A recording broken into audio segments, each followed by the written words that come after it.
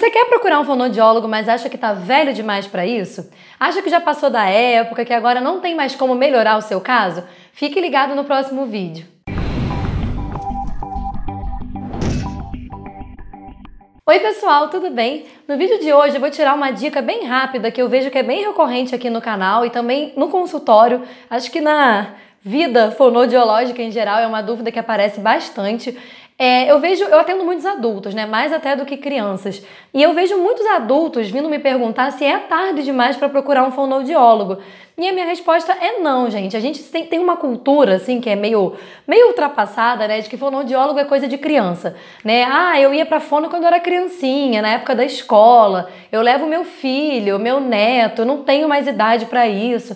Mas isso não é verdade, tá? Eu sei que para quem é fonoaudiólogo isso é bem óbvio, mas para quem não é, às vezes não é uma coisa tão evidente, né? Então a gente tem que pensar o seguinte, a fonoaudiologia, ela abrange todas as idades, desde um bebê recém-nascido até um idoso. Então tenha em mente que se você tem um problema na fala que te incomoda há muitos anos, não é tarde para você procurar um fonoaudiólogo e solucionar esse problema.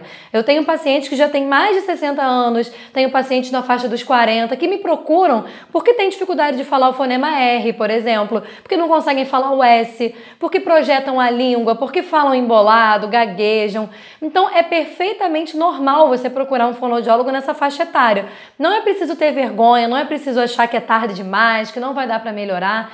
Nada disso é verdade, tá? Claro que a gente tem que botar em, ter em mente o seguinte: quanto mais cedo você procurar ajuda fonoaudiológica, melhor. De fato, você melhora mais rápido quando você procura um fonoaudiólogo mais cedo, né? Porque pensa comigo, se você tem uma troca na fala aos 10 anos de idade, há quanto tempo você tem essa troca, né? Agora, se você é uma pessoa de 40 anos, Quanto tempo tem na sua vida aí que você está falando errado, né? Que você está falando de um jeito que não te agrada. Então, óbvio que um trabalho com um adulto muitas vezes pode levar um tempo maior do que com uma criança, mas não é impossível, é super viável. Então, não fique a vida inteira. Eu sei porque eu tenho casos de pacientes assim que deixaram para procurar um fonoaudiólogo depois dos 50, que a vida inteira trocaram fonemas, falaram de uma forma que atrapalhava a vida social, a vida profissional. Então, não espere tanto assim para procurar ajuda, mas saiba que se você tiver esperado, não está tudo perdido. Você pode procurar uma ajuda fonoaudiológica sim. É sempre importante, a gente abrange todas as idades, tá bom?